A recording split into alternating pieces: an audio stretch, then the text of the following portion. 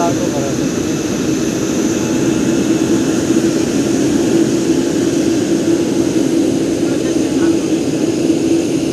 नीचे होल्ड में और सीट में भी रहता है।